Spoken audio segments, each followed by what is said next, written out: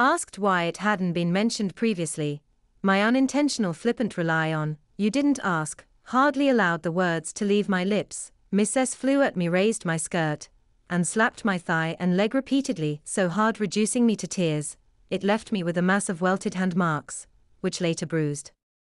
I have no idea if the head knew it was me who broke the window, or whether my impertinent answer fired her up, but she left me under no illusion our paths should not cross again. So for me, a slapped leg was the most painful, but compared to the cane I received at senior school, the cane wins.